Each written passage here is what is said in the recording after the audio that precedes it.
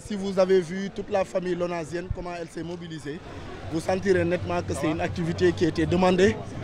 Et euh, je pense que le sport doit être euh, une partie intégrante de toute entreprise ou de tout euh, regroupement humain afin de permettre à chacun de faire du travail sportif, mais également de pouvoir communier avec les autres, permettant ainsi de raffermir les liens.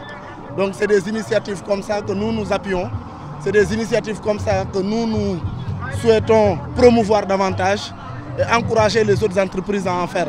Mais le plus important dans ce qu'on est en train de faire, c'est que cette activité n'est possible que dans un pays qui est en paix.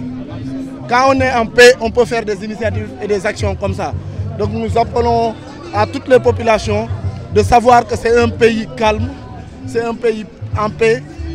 C'est pour ça que des initiatives de cette nature puissent réussir.